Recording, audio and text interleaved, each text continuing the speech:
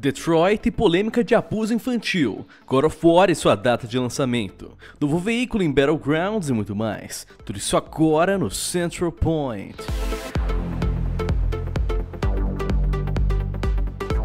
Essa é para os fãs da série Five Nights at Freddy's, já que um ano é o suficiente sem o lançamento de um novo. O criador, Scott Calton, fez uma surpresinha aos fãs da saga, lançando um spin-off na Steam, e olha só, totalmente de graça. E isso mesmo que você ouviu, jovem gamer. Em Freddy Fazbear's Pizza Simulator, você deve comandar seu restaurante de franquia, criar pizzas e alimentar a perralhada para ganhar pontos. Ou não, né? Como de praxe, o game terá segredos e prováveis sustinhos ao longo da jogatina. Corre para conferir que Freddy Fazbear's Pizzeria Simulator está gratuito na Steam.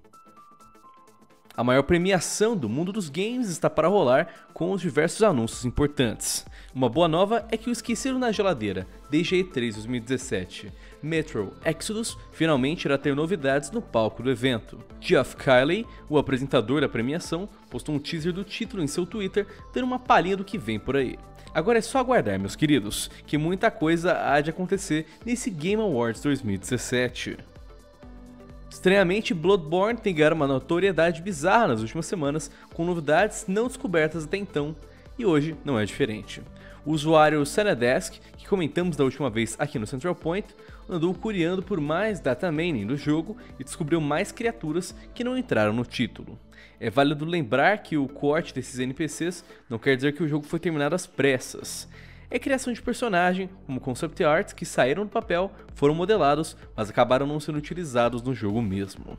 Você que pretende criar jogos, é uma boa dica prestar atenção nessas coisas para não deixar sobras no seu jogo, beleza?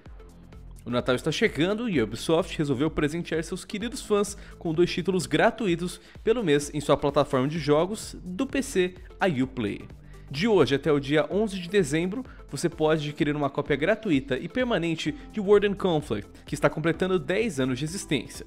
Entre os dias 12 e 18 de dezembro, o Credo dos Encapuzados terá sua vez em Assassin's Creed 4 Black Flag, saindo de graça e permanentemente para o seu PC. Basta acessar o Uplay com a sua conta, que também é gratuito para criar, e pronto, jogo adquirido e garantido. Corre já que o jogo está de graça e não dá para perder essa oportunidade, né? A Quantic Dream vem protagonizando algumas polêmicas por uma gameplay que saiu em outubro de Detroit Become Human, com o controle de Kara. A Android presenciou um caso de violência infantil, a qual o personagem Todd vai atrás da filha Bravo com uma cinta na mão e termina com ele colocando-o na cama, aparentemente morta. O vídeo quer mostrar as possibilidades de impedir tal ato ocorrido, e que cada escolha gera uma reação adversa. A questão é que o player tem opções de fazer absolutamente nada e permitir que o abuso ocorra, o que gerou uma revolta da Dame Easter Resnet, fundadora da Childline, que afirmou que violência contra crianças não é entretenimento e trata-se de uma cena repulsiva. David Cage, responsável pelo desenvolvimento, alegou que o que importa é criar algo comovente sem glorificar a violência e também disse que não há nada do que se envergonhar, já que acredita que não fez nada de errado. Polêmico, não é não?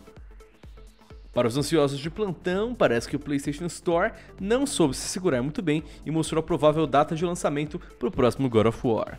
De acordo com o que indica a loja, o título será lançado em 22 de março de 2018, exclusivamente para o PlayStation.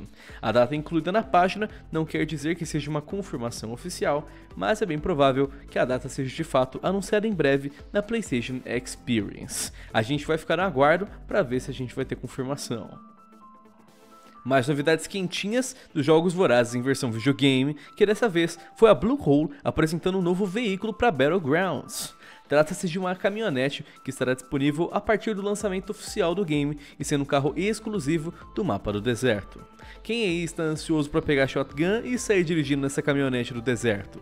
Só lança logo Bluehole, tô ansioso para testar esse novo Battlegrounds. Enfim, meu povo, para mais notícias do mundo dos jogos, é só se inscrever aqui na Central e checar o Central Point, o paro todo dia ao meio-dia. Galera que foi o Lion, muito obrigado pela atenção e até mais.